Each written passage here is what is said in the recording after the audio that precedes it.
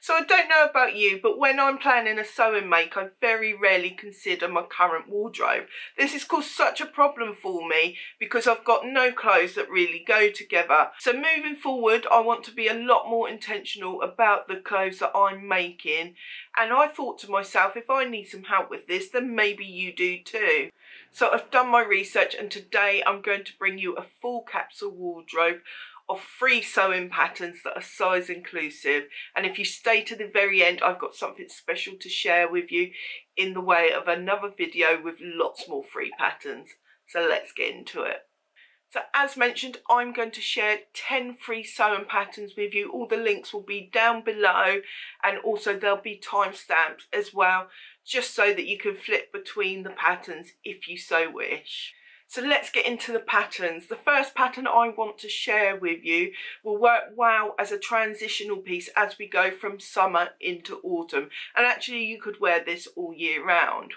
So that is the Green Tee by Green Style Patterns. Green Style Patterns are a company that concentrate on activewear in the main. I haven't used them myself, but I know they are popular and they've got a good reputation. So they've released this basic tee for free to be honest, there's lots and lots of tees out there on the market and they're much the same. I just picked this one purely because I haven't spoken about it before on the vlog and I thought it might help some of you. So this is, as I say, this is a basic tee. It comes with either a scoop neck, which I love, or a v-neck and I really quite like the v-neck on this one as well. It also comes with long and short sleeves and that's basically all it is. It comes to your high hip it also comes in at the waist and gives a lovely shape. There's lots of examples on the website. Of, so in order to make this, you will want a lightweight jersey. I would prefer one with full waist stretch just because when you're moving around, it's good to have stretch going vertically and horizontally but you could probably get away with just horizontally. This pattern is very beginner friendly. Anyone who's made anything could give this a go and this would be a great first pattern for knit fabrics. So they label their sizes from a B to an M and the upper size measurements for that are a 61 bust, a 57 waist, and a 62 hip.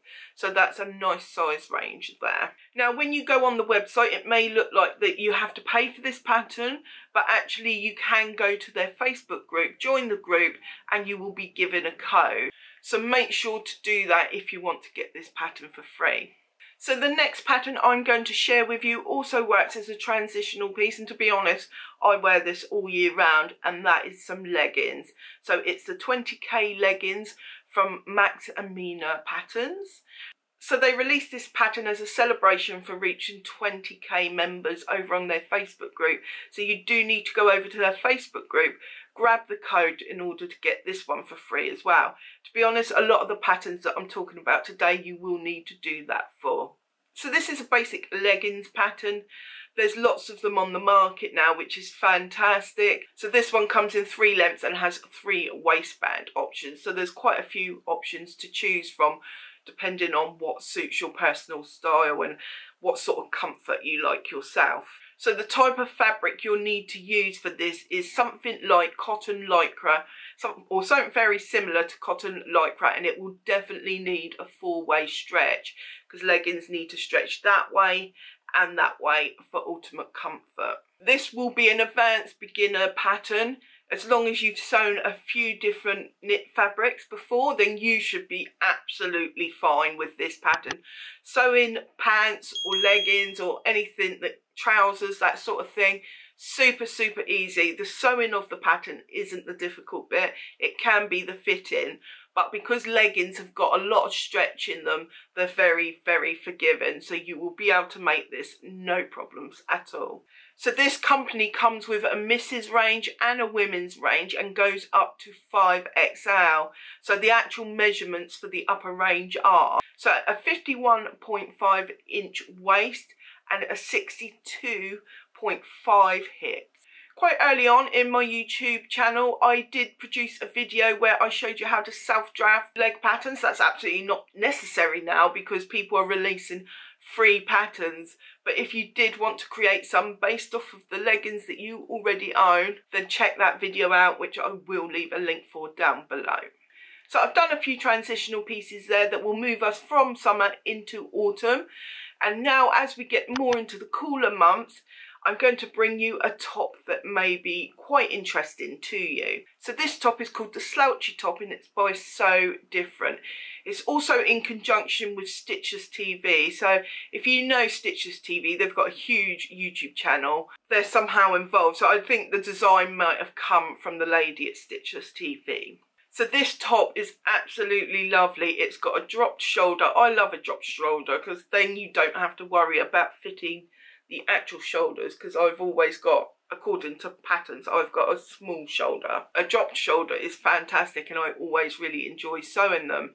And it's got a sleeve added onto it, but in the sleeve it has some gathers which gives it a little bit more of a puffy look which is really really nice and it does also have gathers in the wrist as well this pattern will take a two-way fabric, which means it stretches just horizontally, but I think you will get a little bit better of a look and feel if you use a four-way. And I, the only reason I say that is because where it's got a drop shoulder, you will get some fabric collected here. And if it's a four-way, it will fall better, will drape better and look better on you it will also feel more comfortable for you. So what I like about this pattern is it's a basic pattern. It can be adapted in many, many ways. If you wanted to add additional style lines, change it up, add colour blocking, that sort of thing, you could do all those things quite easily because it is such a basic bodice.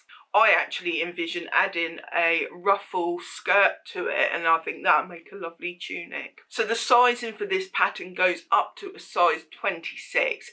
So the upper measurements for that are 50 and a quarter inch bust, 44 waist and 52 and a half inch hip. Now that's a little tiny bit smaller than me but not much and it would be easily adaptable by adding just a little bit to the four sides of the pattern as we're getting into the cooler days and we're edging closer towards Christmas, I can't believe I've just said the C word, but we are getting closer and closer now. When I wear a skirt, which as you guys know is quite rare, I want it to be longer because I need it to keep my legs warm. Nothing worse than feeling that chill on your bare legs in the evening if you're out and about. So I wanted to look for a longer skirt. Initially I was looking for a maxi skirt, but I didn't come across a free one that I liked. But I did find a wrap skirt by Peppermint Pattern. It comes to midi length, which I hear midi length is going to be all the rage if you're into trends and stuff. So this pattern is really on trend for the autumn. It's a straight wrap skirt. It comes three quarter length. So as I say, that's a midi length. So it sits on your natural waist. It has waist ties and you do a buttonhole in order to thread the waist tie through to tie it up. I made a wrap skirt, which was the Fiore by Closet Case, which I'm still yet to vlog about but I did that last year and it was such a simple make.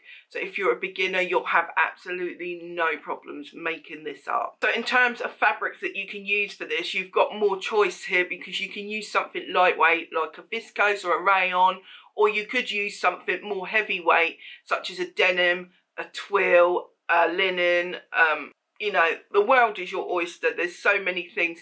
You just want it to have some stability, but you want it to have a little bit of drape as well. This pattern was drafted by In The Folds, who have done loads and loads of patterns for Peppermint magazine. And In The Folds, I've bought patterns from them in the past. They have a very good drafting, so you will not go wrong with this pattern. And even if you did, it would be so, so easy to adapt. So sizing for this pattern is an A to a J and the upper size measurements are so a waist of 45 and 5 eighths and a hip of 54 and 3 quarters. So this pattern comes in a little bit smaller than my own measurements, which are a 46 waist and a 56 hip, only a little bit. So I wouldn't even increase the pattern. I probably would just loosen the ties a little bit and it'll look fine. But if you wanted to increase the pattern, you could just add a little bit to each of the four sides. I don't know about you, but as we get further into autumn, I want clothes that are going to cling and keep me warm. So the next pattern I've got to share with you is a dress and it will do exactly that. It's called the Flare Top and Dress and it's by Wolf and the Tree. This is a pattern company I hadn't heard of before. I've only just come across them. So this pattern also comes with a drop shoulder and it has a slight back wing under the arm which I really like. I remember back in the 80s when I was a child and the adults were all wearing really extreme bat wings, like from your wrist down to your waist, there was a complete and utter bat wing. And I'm just waiting for them to come back in, and I'm wondering if they are heading back in now. Fingers crossed.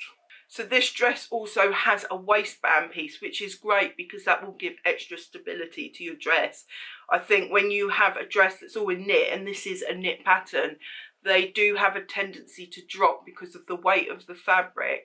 So if you've got seam lines in the middle, which in this case is a waistband, that's going to add some extra stability to your dress and it will make it last longer in my eyes. This is another garment that is completely versatile. It's apart from the waistband in the middle it's a pretty plain dress so you could do what you want with it this would work as either loungewear or something a little bit more formal like going to the office it really depends on the fabric you use as with every pattern out there so for this pattern, you'll want knits and you'll want a 25% stretch. I would say that due to the bat wing, you would need a 4X. So you'll want it to go both ways. Why am I doing this? You want it to go horizontally and vertically. This is another dress that is super easy. Beginners could definitely give this a go. The pattern only has three pattern pieces, which is fantastic. So sizing for this pattern goes from an extra small up to a 5XL. So the upper measurements for this dress are a 57.5 bust, a 49.5 waist and a 59.5 hip and that's all in inches. So the next pattern I'm going to share with you is a pants pattern or trousers if you're in the UK. So this will go with either the top or the tee or you could even wear the dress as a tunic. The pants pattern I've chosen is the Barb's Pants by Style Arc. So in order to get this pattern you do need to sign up for their newsletter. I did that and it came through straight away, no problems. You have to choose the size you want so like with normal style arc patterns now, they tend to offer multi-size patterns. But for this free pattern, you do need to pick your size and you get the size you choose plus the smaller size and the next size up. So that if you need to grade between sizes, you can do but you can only grade between one side, either side.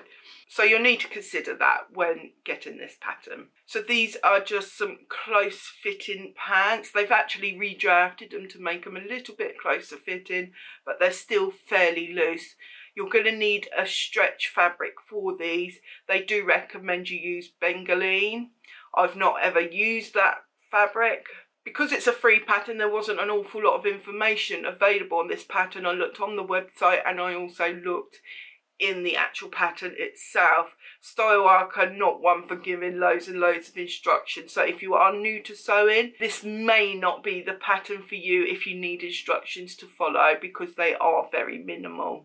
You could wear these trousers every day. You could as I say you could wear them with lots of different types of top and they would work well for the office as well as just going to the shops or doing whatever you want to do in your life, even sitting around at home, because they're a knit fabric, they will be super, super comfortable. So this pattern goes from a size 4 up to a size 30, and the upper limits are 50.5 waist and a 61 hip. So if this is your first pants pattern, then this will be fantastic because it has an elasticated waistband so the fitting will be easy.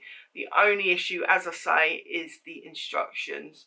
But if you know what you're doing, then you can go ahead. So to go along with the autumn pieces that I've given you so far, I wanted to add some layering pieces. As we get into the darker days, layering pieces will become more and more important depending where you live. If you're in a sunny place such as Texas or somewhere like that, you may not need layering pieces, but I know certainly me in the south of England, I do need layering pieces. In fact, I wear them most of the year apart from like this two week heat wave we're having. So I wanted to find some sort of scarf because I often wear scarves and they're not heavy. They're usually made out of like chiffon or georgette or something like that. But just a cover up for around my neck to keep the worst of the wind away. And so I went onto the Purl Soho website and they had instructions on their webpage for creating a scarf and they do it in a gauze fabric which is really light and airy but you could do it in any fabric you wanted the pattern's very, very simple. I think it's just like a triangle that you cut out and you sew it together and then you have yourself a scarf. And I think that can really escalate any pattern or any style of clothing that you're wearing. So say you had a long t-shirt with some leggings on, you could just throw a scarf over and you would be good to go. So as I was looking for free patterns, I searched high and low for a denim jeans pattern that was free but the problem is that pattern would be quite involved to create and so no one has actually given one for free that I can find. If you know where one is, do let me know down below. Jeans would be perfect but I sadly cannot include them in this collection. If I did, they would go perfect with the next garment that I'm going to show you, but you can wear this with leggings or with trousers as well. And that's the Adult Basic Sweater by Peekaboo Patterns. So in order to get this pattern for free, you will need to join their Facebook group. All links will be down below. So this pattern, normally with this type of garment, you might see it as a raglan, but this isn't a raglan. So if you're not a fan of raglans, this sweater is the sweater for you. It just has a set-in sleeve, has a kangaroo pocket. You can add either a hoodie or a crew neck. It's up to you.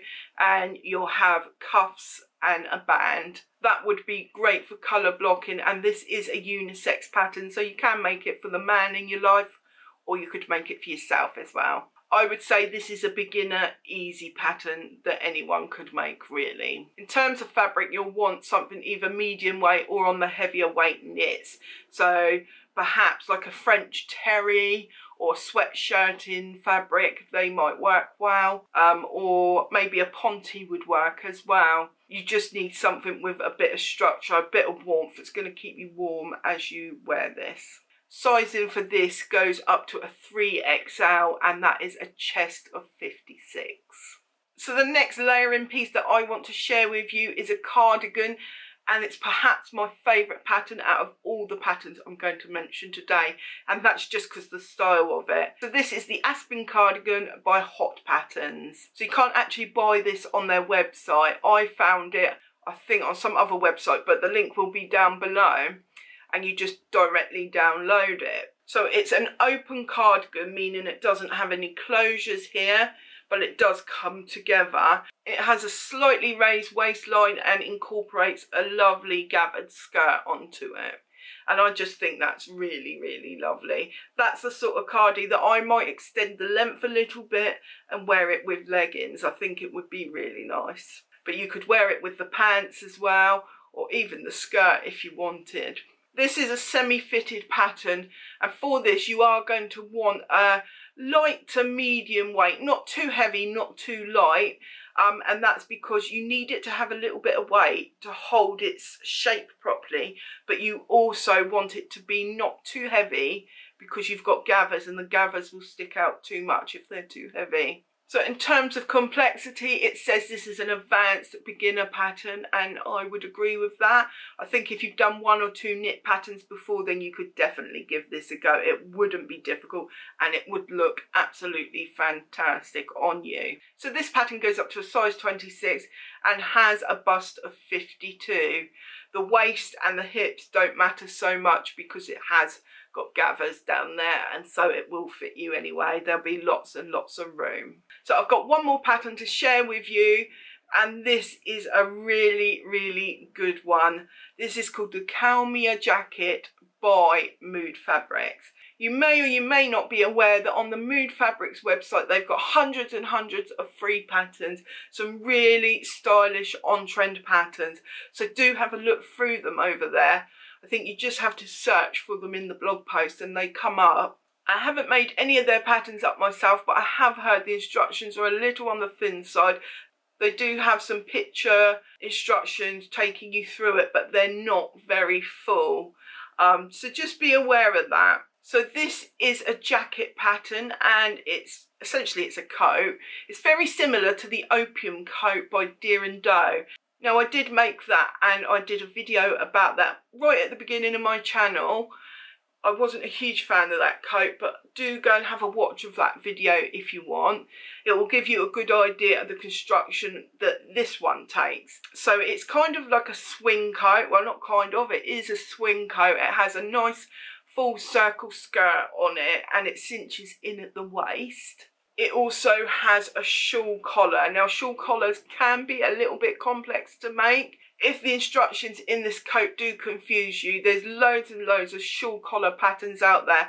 And when I was making a shawl collar a while ago, I found some great tutorials on YouTube. So do search for that. So this pattern takes loads and loads of fabric. It takes eight yards in total and that's five yards for the outer shell and three yards for the lining. So you just need to be aware of that. But I think it's an absolute stunner of a pattern if you want to make it. In terms of fabrics for this pattern, you want something a little bit heavier weight. So maybe a canvas would work well, a twill, a drill, something like that. Maybe even a denim or a leather you, or even a faux leather you could make it with.